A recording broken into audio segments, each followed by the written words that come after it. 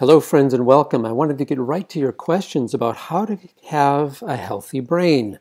There are some cutting edge and thrilling new developments in the brain sciences that offer an enormous amount of hope and excitement for uh, any number of brain disorders, things from depression and anxiety, post traumatic stress disorder, attention deficit, autism, um, even substance abuse issues that, uh, again, this new breakthroughs in brain sciences offer some wonderful insights and opportunities. So let's get right to it. I wanted to show you this before and after picture of an individual who was depressed and then had one of the treatments we're going to talk about, TMS, and um, with a dramatic outcome.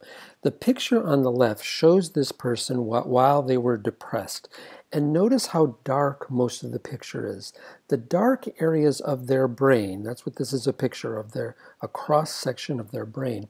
The dark sections are areas of the brain that are pretty much offline. They're not working. It's like the person is unconscious almost in most of their brain. The parts of the brain that are active are areas associated with negative thoughts, depressive feelings, hopeless feelings that just keep playing over and over again after a series of TMS treatments, look how that person's brain opened up. All of those bright areas indicate those areas of the brain are active now. The person has access to all kinds of potentialities and, and um, skills that they didn't have access to before. They, have, they can see opportunities where they didn't see them before. Their emotions are much more flexible and even joyful as a result. So these new developments in the brain science uh, are giving us opportunities to help what had previously been thought of as the worst possible treatment resistant cases. And all of this translates into a new hope that really wasn't even possible a few years ago. What we want to do in this video series is I want you to have more information about how to keep your brain healthy than even your doctor might have access to. You may wind up knowing more than your psychiatrist about how the brain works and how to keep it healthy by the end of this um, video series. So let's start with this slide here, which talks about one of the principal ideas of this work. And that's the idea that the brain operates through neural networks. That's another way of saying nerve connections. Every thought that you have, every feeling that you feel, every act or behavior that you enact has a wiring that it uses to do that, a neural network. And again, everything we think, feel, or do uses a neural network to accomplish our goals. Now, for instance, love. Uh, the, uh, the experience of love is mediated across a neural network. So here's an interesting picture. Notice that top series of brains uh, slides. That's of maternal love, the love of a mother for her child. And notice those bright areas on that slide. That, those indicate areas of the brain that are lit up and active um, in maternal love. The picture below that is of romantic love. Both love, but different sorts of love, aren't they? So different parts of the brain are active. Some of them are the same as in maternal love, but others are different. The point being, again, every thought, every feeling, every action of your life is mediated across a neural circuit. Now, what we've called mental illnesses, it turns out, are simply neural pathways, neural circuits that get stuck. And let's use the example of depression, the experience of depression, to, to make that case. Depression is essentially a stuck brain circuit, a stuck neural circuit. It's kind of like a record player uh, that might have a scratch on it, and the, this beautiful album you can't play because it keeps skipping on the same phrase. The best way to think about this is the area of the brain that we want to wake up uh, for a person who is experiencing depression is called the dorsolateral prefrontal cortex. This is the part of the brain that can put things into perspective, that can think of different opportunities, that can uh, think a million different sorts of thoughts and not just depressive thoughts, that can marshal up all the resources of the brain to have a full life. So what happens is the tuba player starts to be the conductor and uh, another part of the brain and the part of the brain that tends to take over when the when the conductor of the brain is not working well is an area called the anterior cingulate cortex and that's the part of the brain we see in this slide within the colored section these uh, areas of the brain, this, this part of the anterior cingulate cortex, isn't good at conducting uh, the brain. It's, but it takes over because the conductor's asleep. The conductor's not doing its job. So here's a picture of the anterior cingulate gyrus um, in a depressed person. It's that glowing area, that orangey yellow area in this slide of a, of a brain. Notice how pretty much the whole brain is dark. Not, it's not working. It's offline. Um, it's, it's asleep basically while the anterior cingulate cortex has taken over. So this depressed brain, vast areas of this person's potential aren't being used because the anterior cingulate gyrus is running the show, is conducting the orchestra, and the part of the brain that's supposed to be conducting the brain isn't up to speed. It's overwhelmed, it's exhausted, it's offline. It's kind of like a conductor, a conductor of an orchestra. When we become depressed for any number of reasons, and we'll talk about those in a minute, it's like the brain loses its conductor. It loses its dorsolateral prefrontal cortex. That part of the brain might become overwhelmed or exhausted. And as a result, the orchestra doesn't have a conductor it's and here's a picture of a tuba player. Now he, he he can conduct the orchestra, but he can't use his mouth to give instructions. He can't use his hands because he needs those to play the tuba. So you can conduct an orchestra with a tuba, but it's just not a very good way to do it. Get stuck. Well, there's a number of areas uh, of our life that can cause that to happen. Prolonged stress and grief can just simply overwhelm uh, the conductor of our brain, the, the prefrontal cortex. And uh, we might use up all of the vitamins and minerals and energy sources and substrates that that part of the brain needs to stay online. And as a result, it becomes uh, starved in a way and goes offline. Unresolved trauma can do the same thing. Nutritional deficiencies from uh, what I just mentioned by overuse and, and uh, being overwhelmed, or by a bad diet that doesn't uh, provide the things that the brain needs. Metabolic imbalances and medical conditions can do this, uh, as well as the side effect of medications.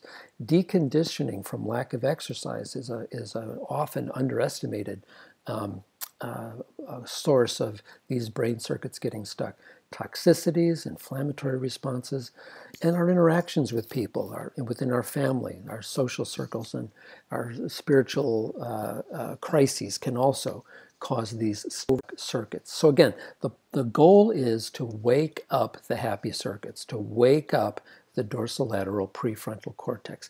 When one comes in, so what we want to do with depression is we want to wake up that happy neural circuit, the dorsal lateral prefrontal cortex, the area I showed you before, which in this slide is depicted as the large blue area uh, on the left side of this brain. And again, when that part of the brain is overwhelmed and goes offline, the part right underneath it takes over, the anterior cingulate cortex. But just like the tuba might take over the orchestra, it just doesn't do a very good job, and we wind up depressed. In other neural circuits, we might wind up anxious. We might wind up with memory difficulties. We might wind up with attention problems, or recurrent nightmares, or recurrent sleep problems, or recurrent problems with post traumatic stress disorder, etc.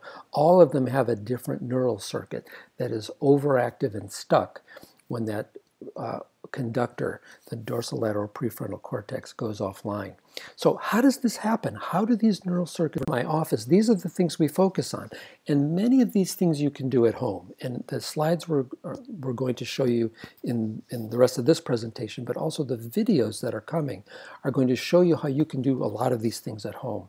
So what we focus on is all of the things that together can overwhelm that dorsolateral prefrontal cortex and all the things we can do to support it and support healthy brain function. And this includes a complete metabolic review and a medical assessment, a nutritional assessment, um, providing supplements where they might be needed, good therapy. There's a number of sorts of them that we can talk about, and we will talk about in later videos exercise, the value of exercise in brain health, medications, and sometimes they're needed. You know, we don't have to rely on them exclusively, and if we don't need them, we would rather not uh, expose ourselves to side effects, but sometimes they're needed. Then we can have a discussion about social, family, and spiritual alignment to uh, use your brain in the most effective and life affirming way possible. And the thing that we want to uh, focus on for the rest of this uh, slideshow is neuromodulation.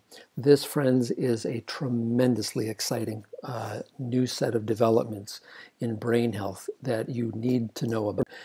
How do we wake up that happy circuit?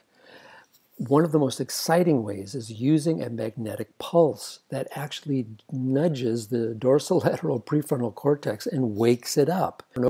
It's uh, here's an example of that. Uh, here's a picture of that. By using a magnetic pulse, you can gently nudge the left prefrontal cortex wake it up, and it's like waking up the conductor of the orchestra. The tuba can sit back down again, and the conductor can marshal the resources of the whole orchestra. The prefrontal cortex can get the whole brain working again, and you can be happy. This kind of revolutionary, tremendously exciting therapy is called TMS, transcranial magnetic stimulation. And uh, uh, let me show you basically what it looks like. That thing that looks like a paddle on the top there, that's a magnetic coil. It sends a magnetic pulse into the uh, top of the head about two centimeters. It's a similar kind of magnet that you have in a, an MRI, for instance. But whereas that magnet goes all the way through your body, this one just goes two centimeters uh, down to stimulate that part of your brain. What is very, very exciting about this is not only that it is tremendously effective, but it has no side effects. Uh, there aren't uh, chemical reactions being caused like with medication. So you don't have the side effects that you have with medication. So that you can have a picture like this happen in the same person over a period of just a few weeks, where on the left hand side, most of their brain is not working really while they're depressed.